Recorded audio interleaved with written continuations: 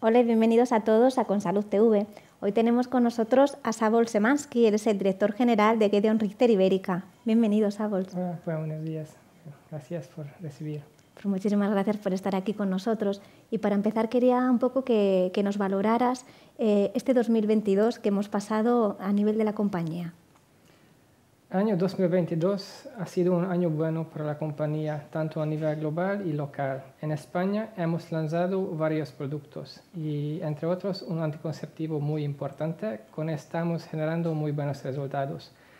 Pero por otro lado, también enfrentamos con uh, los uh, aumentos de precios de energía, de materia prima y también de transportación y nosotros estamos presentes en un mercado donde no podemos ajustar los precios. Pero a nivel global y local, nuestro crecimiento sigue siendo positivo. Como filial, como España, estamos en el segundo lugar dentro del grupo de Gedeon Richter, después de Alemania, en Europa Occidental y a nivel global ocupamos la séptima posición. Tenemos clara nuestra misión, mejorar la calidad y salud de la vida de los pacientes con productos de alto valor e innovación. Por eso llevamos muchas actividades de desarrollo e investigación. A nivel global, la compañía tiene 12.000 empleados y desde 12.000, 1.200 están enfocados solo en investigación y desarrollo. En año 2022 hemos sido um, cualificados como mejor empresa en salud de femenina en ginecología y obstetricia eh, según el estudio Merco 2022 y además ocupamos el tercer lugar con la mayor innovación. Merco es un uh, monitor independiente mundial que trabaja con varias fuentes independientes. Además, hemos sido galardonados con el premio de Objetivo Bienestar por nuestro trayectoria en investigación de salud íntima femenina. Y además hemos recibido un premio uh, por AIMFA para el mejor lanzamiento de nuestro producto en el área de fertilidad. Está claro que, que, bueno, han sido, en fin, los logros han sido muchos a lo largo de este 2022 que ya hemos pasado, pero ¿cuáles consideras que han sido esos retos más importantes? Desde la compañía aterrizó en 2011 con un proyecto con un anticonceptivo y en 2022 ya contábamos con 20 productos. Somos la compañía quien ofrece la más variedad en el nivel de anticoncepción. Tenemos medicamentos para eh, reproducción asistida, para endometriosis, para mm, infecciones vaginales. Tratamos síntomas de menopausia y osteoporosis y además intentamos tratar, evitar el dolor en procedimientos ginecológicos interuterinos y cérvicos. Nos hemos mantenido filiales a nuestro propósito, ofrecer soluciones eh, más innovativas uh, para las uh, mujeres en todas las etapas de su vida para mejorar la calidad de su vida. Y para nosotros no solo es importante la salud de la mujer, sino el bienestar.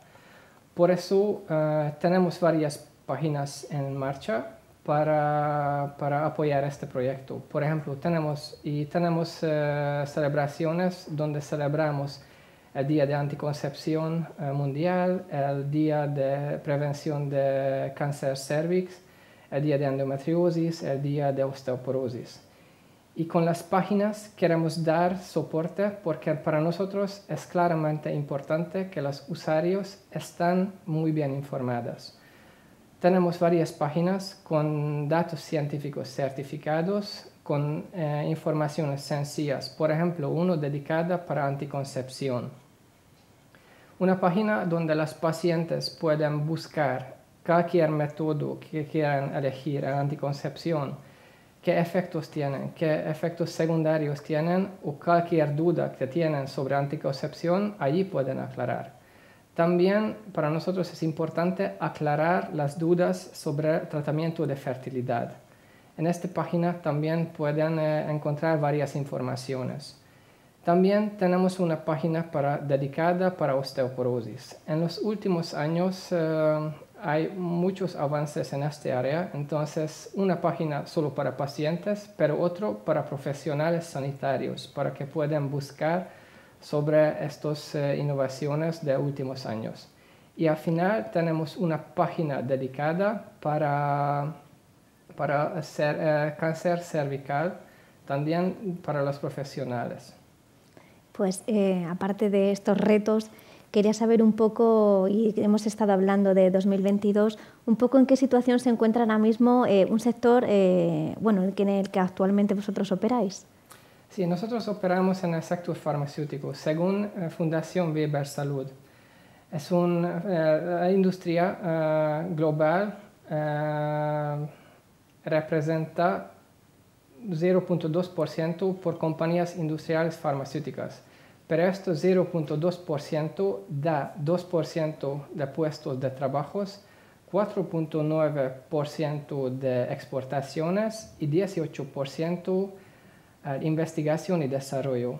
Esto clara apuesta que la industria farmacéutica apuesta al lado de innovación y es el motor de crecimiento del futuro. Dentro de nuestro grupo, de nuestra compañía, nuestra facturación local representa 70% de salud de la mujer. Y hemos dado cuenta que en los últimos años, en el nivel sanitario, esta área recibe más y más atención. A nivel global, nuestra compañía es el líder de producción de hormonas. Estamos entre las cinco compañías en salud de la mujer a nivel europeo y nuestra facturación en global representa 34% por área de salud de la mujer. Y en Gedeon Richter no solo queremos eh, hablar sobre los pacientes, sino los especialistas también muy importantes. Queremos eh, ser partners de nuestros profesionales sanitarios, ofrecer formación que sea a su utilidad a su clínica práctica diaria y ofrecer soluciones innovadoras que sean utilidad para su tratamiento. ¿Y cuáles dirías entonces que son las previsiones del sector? Porque hemos hablado un poco ahora de la situación actual, pero ¿cómo se prevé?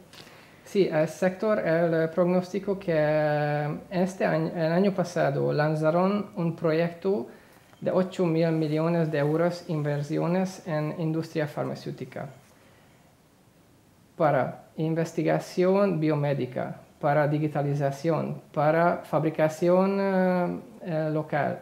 Estoy seguro que salud de la mujer también tendrá en cuenta. Si hablamos sobre miomas uterinas, hay 70% de las mujeres con edad reproductiva a lo largo de su vida tendrán miomas. Hasta ahora hay pocos tratamientos fuera de cirugía para este eh, problema. Además, si hablamos sobre osteoporosis, que mayoritariamente es una eh, enfermedad de, femenina, en los últimos años han sido varios eh, avances e innovaciones en este mercado.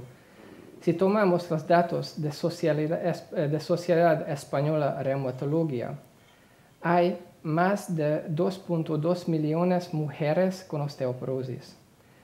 Si hablamos sobre fertilidad, este mercado ha crecido en los últimos años. Con el retraso de maternidad usan más y más estos productos. Según los datos de Sociedad Española Fertilidad, más o menos 30.000 bebés nacen gracias a estas terapias. Y además, anticoncepción, em, eh, cáncer de cervix, osteoporosis, menopausia, hay lugar para buscar y descubrir nuevos tratamientos. Gedeon Richter ha puesto para desarrollar en estas áreas y estamos seguros que nosotros transformemos a ser, a ser eh, jugadores claves en esta área. Es evidente por lo que nos comentas, ¿no? Eh, bueno, la cantidad de oportunidades y de desafíos que hay, pero ¿cuáles dirías que son esos retos para 2023? Para 2023, eh, nuestro objetivo es eh, ser partner de referencia de los profesores sanitarios y mejorar la calidad de vida de las mujeres.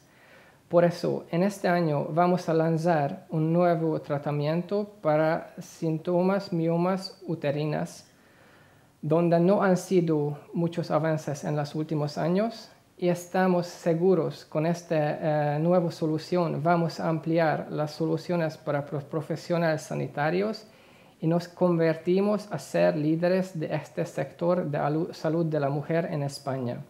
Además, vamos a lanzar un nuevo tratamiento en fertilidad con el que ampliamos nuestro portafolio también en fertilidad. Y quiero reforzar que nuestro objetivo es ser partner referencia, mejorar la salud de la vida de las eh, mujeres y también trabajar al lado de los especialistas, ofrecer soluciones para los problemas más habituales y seguimos eh, trabajando para eh, descubrir nuevos medicamentos para terapéuticas no cubiertas. Pues nos quedamos a vos precisamente ¿no? con esa idea que has comentado de mejorar la calidad de vida de las, de las mujeres y de acompañar también a los sanitarios. Así que muchísimas gracias por estar aquí con nosotros. Gracias a usted. Que tenga un buen día. Gracias.